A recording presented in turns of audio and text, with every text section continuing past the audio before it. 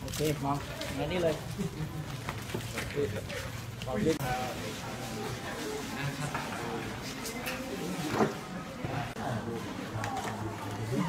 ห็นไหมพี่ดังไหมโอ้ได้นี่ได้ไม่เป็นไรทำไมออกได้ไหมคะคือตอนนี้ คนละสามเดี๋ยวข้างหลังเขาปีพ่อไปแน่นะสองพันนะครับ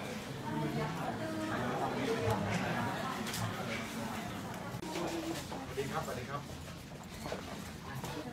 การประกอบที่เกี่ยวข้องก็ยื่นไว้ที่จะต้องให้หน่วยงานที่เกี่ยวข้องเขาได้ยืนยันเนี่ยเขาก็ตอบมาหมดแล้วเสนอมาที่ผมนะฮะผมก็จะพิจารณา ก็ตั้งใจว่าวันนี้เนี่ย ถ้าพิจารณาไม่เสร็จก็จะไม่กลับบ้านนะครับ ก็จะอ่าดำเนินการให้เสร็จภายในวันนี้แหละนะครับและจากนั้นเนี่ยก็จะส่งหนังสือส่งเรื่องทั้งหมดไปให้ท่านผู้การจังหวัดเชียงใหม่พิจารณานะครับเอ่อถ้าเอาแม็กซิมัมมาเนี่ย 90 บวกกับ 120 ก็เป็น 200 กว่า ขอบคุณพี่น้องทุกคนครับน้องเอด้วยไหมครับเดี๋ยวขอคุณตรงก็คือมั่นใจว่าไม่ไม่น่ามีปัญหาอะไรเลยครับ ก็มั่นใจว่าคือยื่นแล้วน่าจะผ่านครับ รออีกประมาณ 5 เดือนก็ได้ถ่ายบัตรประชาชนนะครับ แล้ววันนี้รู้สึกไงบ้างคะก็รู้สึกดีใจครับ ก็จะได้ผ่านขั้นตอนนี้ ขั้นตอนที่3ไปนะครับก็ยังเหลืออีกสามสองขั้นตอนนะครับพ่อกับแม่ทราบเรื่องแล้วเขาว่ายังไงบ้าง ก็พ่อกับแม่ก็ดีใจนะครับที่ที่จะได้ถ่ายบัตรประชาชนนะครับ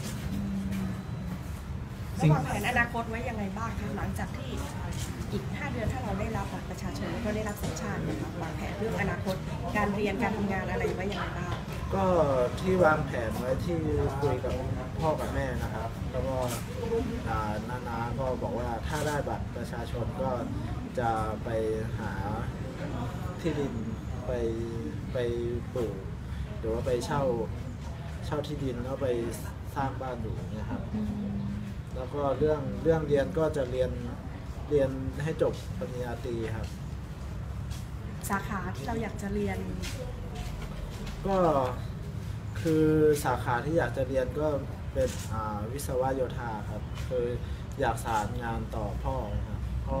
ทำเรื่องเกี่ยวกับงานก่อสร้างนะครับแต่ในขั้นตอนของอำเภอวันนี้เนี่ย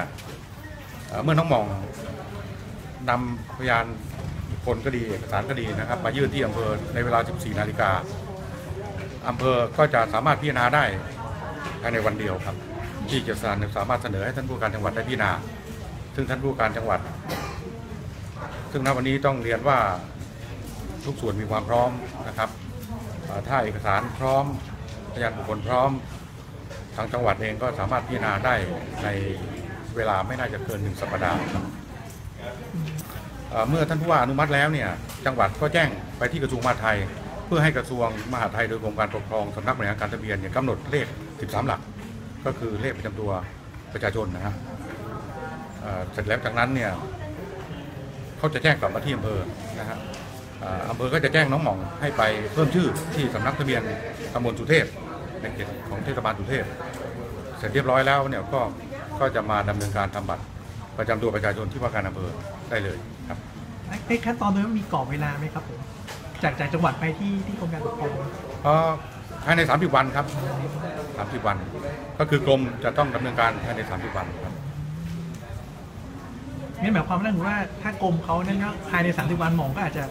ได้บัตรประชาชนแล้วถูกไหมครับใช่ครับ ผมว่ารวมเบ็ดเสร็จแล้วไม่เกิน 30 วันแน่นอนครับ ถึงวันที่น้องหมองจะได้รับบัตรประชาชน